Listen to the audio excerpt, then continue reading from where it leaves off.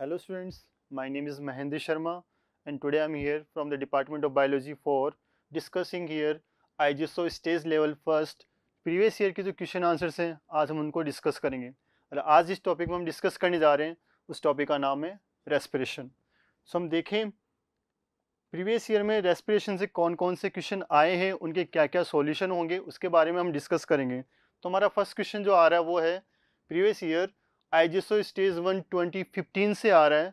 First question हमारा, Raju Sharma a tenth standard student participate in hundred metre sprint during running he develop painful muscles contraction and fell down एक student है जो एक running में हिस्सा लेता है और वो फेल डाउन हो जाता है ड्यूरिंग रनिंग मसल्स कॉन्ट्रेक्शन की वजह से। The physical education teacher rush to him and gave a hot water massage Raju Sharma slowly recovered from the cramp. The teacher explained the physiological behind the cramp and the subsequent relief. Identify the right explanation.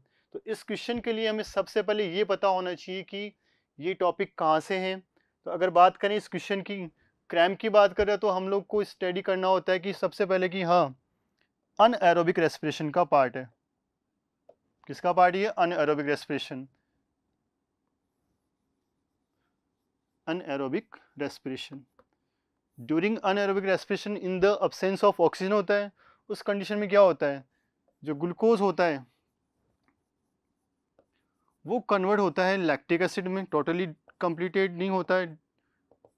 और इसी lactic acid की वजह से cramp occur होते हैं हमारी muscles के अंदर। क्यों? क्योंकि वेगोरस एक्सरसाइज की वजह से क्या होता है, वहाँ पे लैक ऑफ़ ऑक्सीजन होने लग जाता है और वहाँ पे लैक्टिक एसिड का डिपोजिशन शुरू हो जाता है। इसी लैक्टिक एसिड की डिपोजिशन की वजह से क्रैम्प आने लग जाते हैं। देन कंडीशन लिखी गई है कि उसके जो फ़िज़िकल एजुकेशन टीचर हैं, उन्होंने उनको एक हॉट वाटर थेरेपी दी। अब हॉट वाटर थेरेपी का मीन क्या हुआ? हॉट वाटर थेरेपी क्या करेगा?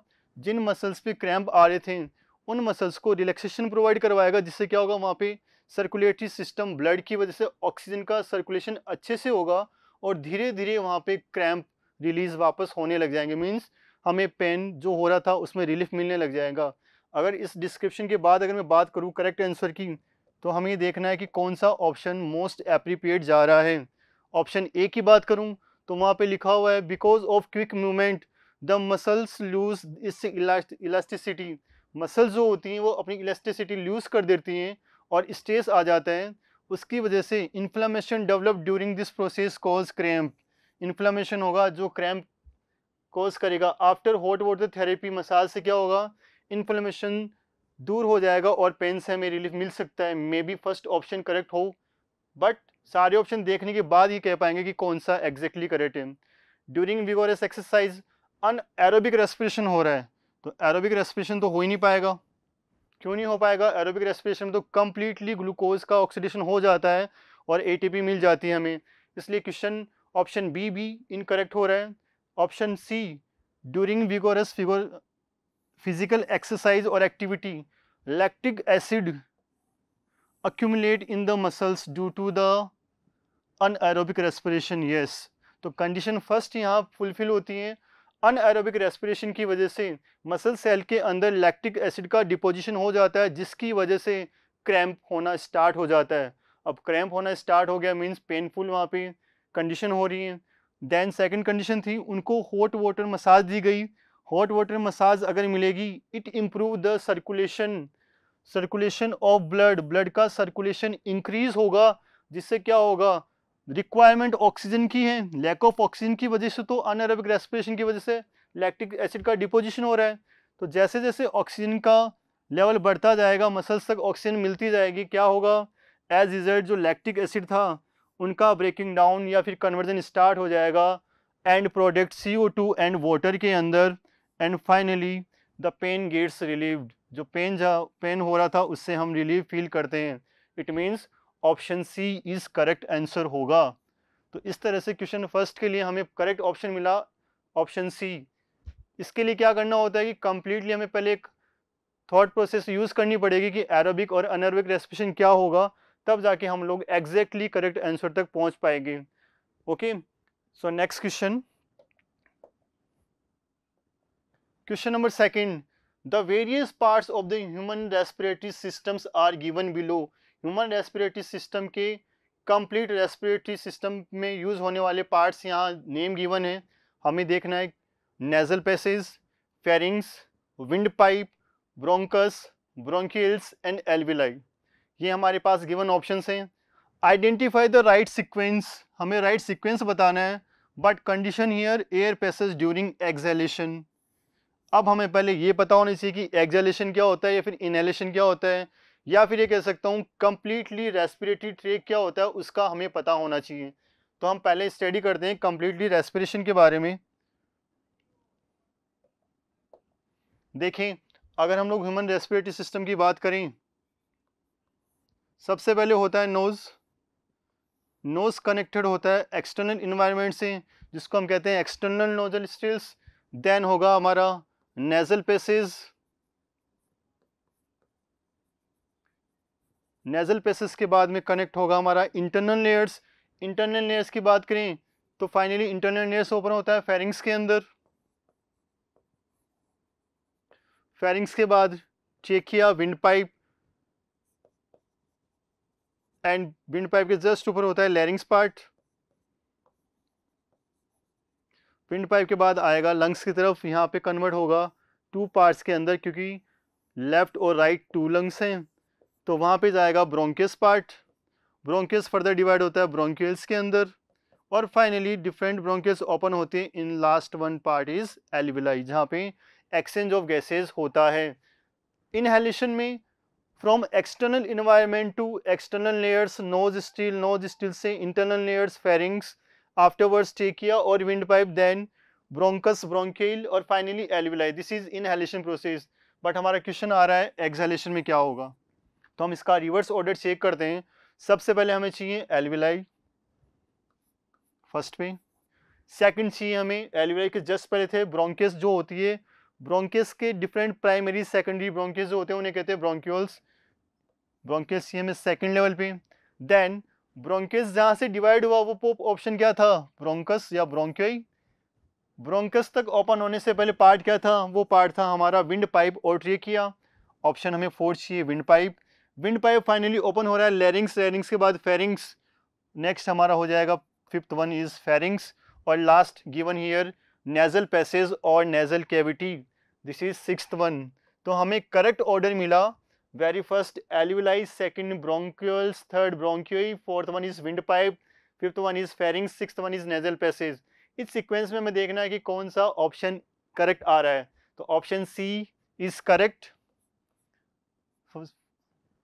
alveoli bronchioles bronchiole windpipe pharynx and nasal passage it means option C is correct one right then question number third okay during gaseous exchange in the alveoli, what happen to the nitrogen nitrogen के साथ क्या होता है जब एल्यूलाई के पास gases आती हैं? जब एल्यूलाइज के पास गैसेज आती हैं थ्रू द एटमोसफियर और एयर तो हमें सबसे पहले पता होना चाहिए कि नाइट्रोजन के साथ क्या होगा। नाइट्रोजन के साथ क्या होगा वो तो बाद में देखेंगे पहले देखते हैं ऑप्शन क्या है। There is no net nitrogen exchange as nitrogen is filtered out by the alveoli कोई एक्सचेंज कोई यहाँ पे कोई चेंजेस नहीं आएगा मतलब कि नाइट्रोजन को एल्विलाइज फ़िल्टर कर देगी। Second one is nitrogen is absorb by the alveolus to form amino acid amino acid बना देगा। Third one is nitrogen is filter out by the alveolus and nitrogen molecules is too large to cross the gap in the capillaries तक पहुँच जाएगा।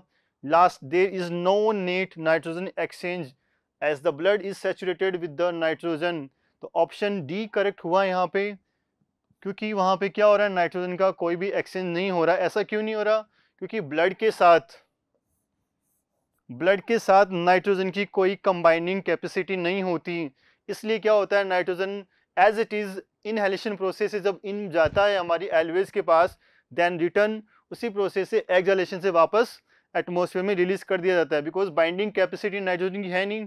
अगर binding capacity की बात करें तो सबसे ज़्यादा बाइंडिंग कैपेसिटी किसकी होती है? कार्बन मोनोक्साइड की होती हैं, देन ऑक्सीजन की होती हैं और लास्ट सी ओ टू की होती हैं। इसलिए नाइट्रोजन के साथ कोई भी चेंजेस नहीं आएगा। जिस तरह से नाइट्रोजन इनहेल किया गया सेम प्रोसेस एक्सेलेशन के थ्रू कंप्लीट नाइट्रोजन एक्सेलेशन करके एटमोसफियर में वापस रिलीज़ कर दी जाएगी। That's why option D is correct there is no net nitrogen exchange as the blood is saturated with the nitrogen that's why so next question okay which of the following is true about A T adenosine triphosphate के लिए? इनमें से कौन सा option correct होगा? Check करते हैं option first it is derivative on one of the nitrogenous ways, ways base that form DNA. इसको ड्राइव करते हैं नाइट्रोजीनियस बेस से जो डी जिसको हम लोग रिसीव करते हैं डीएनए से। एडिनोसिन अपने आप में एक नाइट्रोजीनियस बेस होता है तो option A is correct second thing जो एटीपी होता है it split into ADP and phosphate ADP और एक फोस्फेट मॉलिक्यूल में डिवाइड हो जाता है। Yes and the energy produce जो एनर्जी प्रोड्यूस करता है, उस एनर्जी को यूज़ किया जाएगा मसल सेल्स के through for the contraction means ATP से एटीपी से जो वन मोलिकुलर फॉस्फेट रिलीज़ हुआ है वो एनर्जी प्रोड्यूस करेगा, उस एनर्जी को हमारी मसल सेल्स यूज़ में लेती है कॉन्ट्रेक्शन करने के लिए। Then option B is also correct third it is produce in both aerobic and anaerobic condition जो एटीपी होती हैं एटीपी एरोबिक रेस्पिरेशन और अनएरोबिक रेस्पिरेशन दोनों के अंदर ही एटीपी रिलीज़ होती हैं। एटीपी एरोबिक रेस्पिरेशन में एटीपी होता है 38 एटीपी रिलीज़ होती हैं। जबकि अनएरोबिक की बात करें यस अमाउंट ऑफ़ एटीपी काफ़ी लेस होता है। टू एटीपी होता है बट दोनों कंडीशन में क्या हो रहा है? एटीपी रिलीज़ हो रही हैं। It means option three option C is also correct means option A भी करेक्ट है ऑप्शन बी भी करेक्ट है ऑप्शन सी भी करेक्ट है। इट मीन्स हमें ऑप्शन डी के साथ जाना पड़ेगा। All of the above option D is correct one now question number next five okay which one of the following statement is true about the fate of glucose इनमें से कौन सा statement glucose के लिए कंप्लीटली करेक्ट है?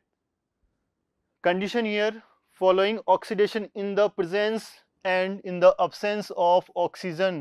Presence and absence of oxygen में कौन सा ग्लूकोज के लिए करेक्ट होगा? देन इसके लिए मैं सबसे पहले ये देखना होगा कि ग्लूकोज का ऑक्सीडेशन होता है तो क्या क्या बनता होगा?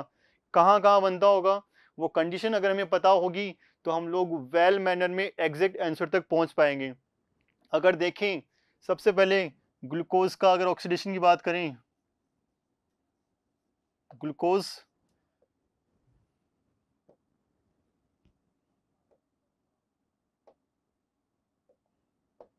ग्लूकोज के साथ क्या होगा?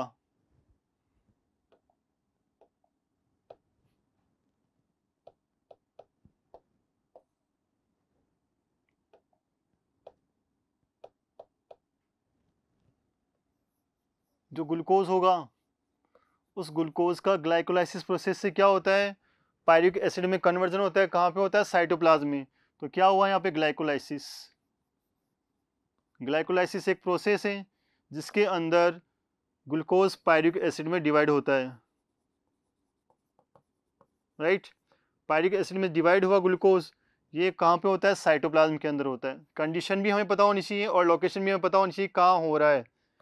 तो ग्लूकोज का ब्रेकिंग डाउन होता है, उसे कहते हैं ग्लाइकोलाइसिस प्रोसेस जो होता है साइटोप्लाज्म के अंदर, और सिक्स कार्बन मोलिक्यूल जो ग्लूकोज था, वो three carbon molecule pyruvic acid में कन्वर्ट होता है।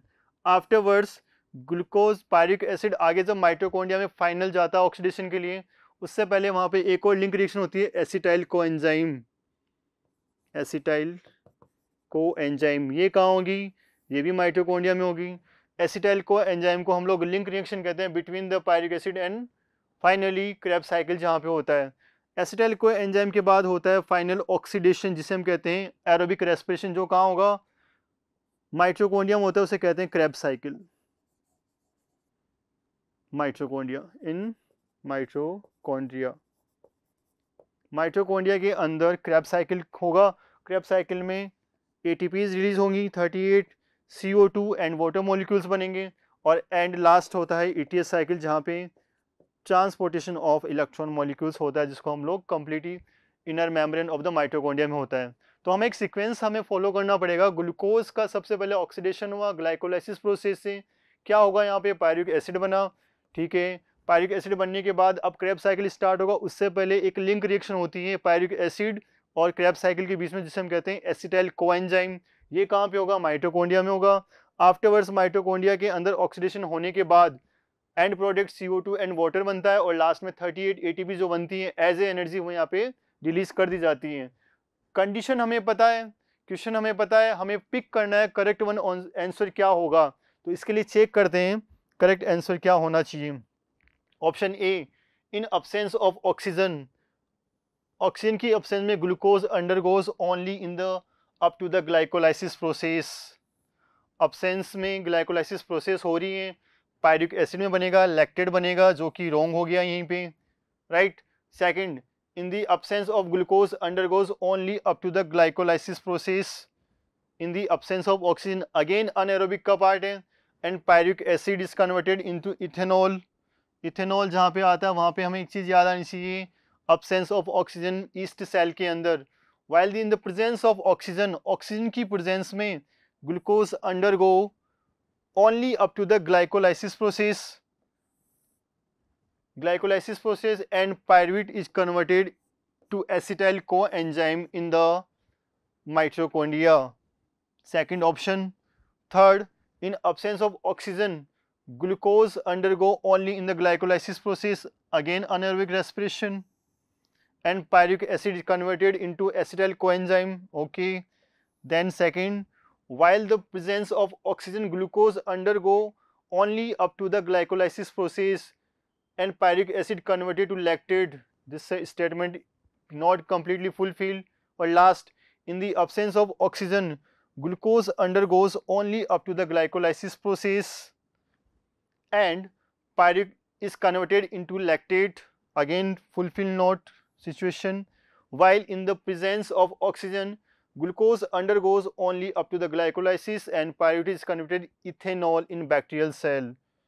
so finally अगर क्वेश्चन की बात करें क्वेश्चन था ग्लूकोज के साथ क्या होता है एरोबिक और अनएरोबिक रेस्पिरेशन के लिए तो इसके लिए करेक्टली अगर आंसर के लिए हम बात करें तो करेक्टली आंसर होगा B in the absence of oxygen glucose undergoes only up to the glycolysis process yes statement यहाँ तक करेक्ट है हमारा। एंड पायरिक एसिड जो होता है, वो फाइनली कन्वर्टेड होता है इथेनॉल के अंदर। Second case in the presence of oxygen oxygen की प्रेजेंस में क्या होगा? Glucose undergo only up to the glycolysis process अब ग्लाइकोलाइसिस प्रोसेस में क्या हुआ, हमें पता होना चाहिए। And pyruvate is converted yes to acetyl coenzyme first Krebs cycle start होने से पहले क्या होगा? पायरुवेट जो होता है वो एसिटाइल को एंजाइम में चेंज होगा in mitochondria acetyl coenzyme की रिएक्शन कहाँ कहाँ होगी लिंक रिएक्शन माइट्रोकोन्डिया के लिए? देन फाइनली हमें आंसर मिला। Answer B is correct okay? Next question. A plant may not exchange CO2 or O2 with air aid. Plant generally oxygen और CO2 को एक्सचेंज करते हैं। बट कौन सी ऐसी कंडीशन जहाँ पे ये कंडीशन नहीं हो पा रही? Noon time midnight late hours in the morning और लास्ट ट्विन लाइट कहाँ होगी? लास्ट केस मीन्स जहाँ पे CO2 एंड जहाँ पे CO2 एंड ऑक्सीजन का कंसंट्रेशन लेवल इक्वल होता है। अब ये कंडीशन कब हो सकती है? ये कंडीशन हो सकती है early in the morning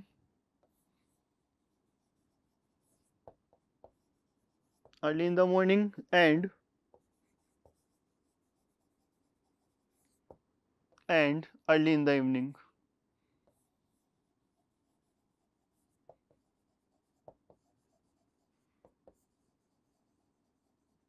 Means जब सन अपने हॉरिजॉन तक होता है, उस समय की कंडीशन होती है अर्ली इन द मॉर्निंग में या फिर अर्ली इन द इवनिंग में, उस केस में क्या होता है? No exchange of O two and C O two होता है तो हमारे पास option D is correct yes twilight वो कंडीशन है जहाँ पे क्या होता है? प्लांट ना तो ओ टू लेता है, ना सी ओ टू एक्सचेंज करता है. Right next question if the cell using less oxygen cell using less oxygen but then the molecule of carbon dioxide involved in respiration. The substrate from respiration has to be जो substrate बनेगा वो कैसा होगा? देखिए, इसके लिए हम पढ़ते हैं रेस्पिरेशन क्वेश्चन जिसका मतलब क्या होता है? कितना CO2 यूज़ हुआ और कितना O2 काम में आया राइट इन्वॉल्व कितना हुआ और कितना यूज़ हुआ? उस कंडीशन की अगर बात करें तो इस केस में क्या होगा? सिंपल जो शुगर होता है, उसका रेस्पिरेटरी क्वेश्चन क्या होता है? वन ऑर्गेनिक एसिड का ज़्यादा होता है more than one more than one fatty acid का होता है अराउंड 0.5 टू 0.7 कोलेस्ट्रॉल तो क्वेश्चन की डिमांड ये है, अगर ऑक्सीजन यूज़ कम हो रही है और CO2 फिर भी ज़्यादा बन रही है तो इनमें से कौन सा ऐसा सब्जेक्ट होगा जो इसको प्रॉपर वे में करवाता रहेगा? तो उस कंडीशन में हमारे पास ऑप्शन होगा ऑर्गेनिक एसिड क्योंकि यहाँ पे रेस्पिरेटरी क्वेश्चन कितना आ रहा है? वन आ रहा है। अगर इनसे लेवल से डाउन होगा तो ऑक्सीजन के लेवल के साथ वो मैच करेगा। ज़्यादा आ रहा है सी का लेवल इसका मतलब ऑर्गेनिक एसिड की वहाँ पे प्रेजेंस होगी right then next question in a baking industry when the dough is prepared various ingredient ingredients are mixed together with the flour at one instant क्या होगा? The dough was fermented but fail to rise sufficiently fermented तो होगा but sufficiently rise नहीं हो पा रहा. During the baking process choose the correct one answer means एक dough तैयार किया जा रहा है, जिसमें बहुत सारे इंग्रेडिएंट्स को मिक्स किया गया है और फाइनली उसमें से एक इंस्टेंट ऐसा भी हो रहा है कि वो तैयार तो हुआ बट वहाँ पे टोटल सफिशिएंट बेकिंग प्रोसेस नहीं हो पाई तो करेक्ट वन आंसर को पिक करना हमें है। पहला बता रहा है the salt was mixed before the fermentation process was completed जो सॉल्ट मिक्स किया है, वो कंप्लीटेड मिक्स हुआ है। इसका मतलब जो सॉल्ट होते हैं, वो क्या काम करेंगे? जो सॉल्यूशन बना था, उससे क्या करेगा? वाटर को एब्जॉर्ब कर लेगा। वाटर को एब्जॉर्ब कर लेगा तो सॉल्यूशन कैसा बन जाएगा? हाइपर इसलिए वहाँ पे क्या होगा? ये कंडीशन अप्लाई हो सकती हैं। Same condition the sugar was added in excess amount अगर ज़्यादा अमाउंट में शुगर भी ऐड कर दी जाएगी तो भी क्या होगा? हाइपरटोनिक सॉल्यूशन होने की वजह से उस जो इंग्रेडिएंट्स यहाँ तैयार किया गया था प्रिपेयर हो रहा था, उससे वाटर मोलिक्यूल्स क्या करेगा? वो एब्जॉर्ब कर लेगा। यस ये कंडीशन भी हो सकती है। और लास्ट ईस्ट जो ग्रेन्यूल्स थे were not activated priorly to mixing with the flour जो ईस्ट ग्रेन्यूल्स थे, वो कम्प्लीटली मिक्स नहीं हुए उस फ्लोर के अंदर जो इन्ग्रीडियंट्स बनाया गया था तो ये कंडीशन भी अप्लाई हो सकती है। It means option A also correct B also correct C also correct तीनों कंडीशन अप्लाई हो रही है।